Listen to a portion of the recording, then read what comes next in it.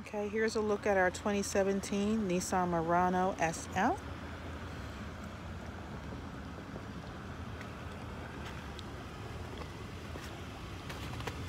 And this will be a quick uh, walk around.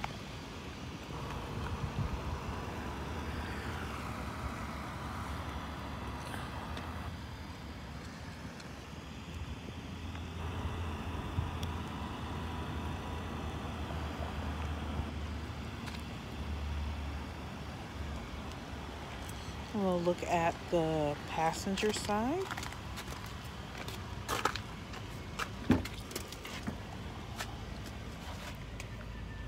You'll see the almond interior and your sunroof. There's a USB port back here as well. And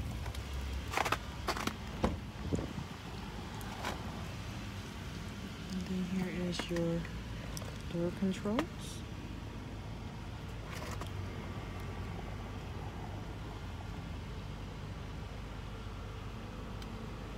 Look.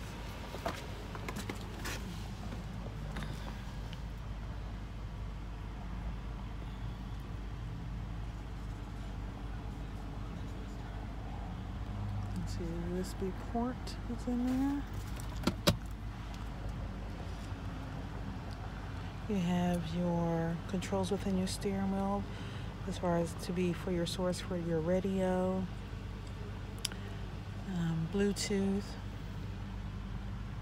You also have your heated seats, push start control. And that is a quick tour of your 2017 Nissan Murano SL.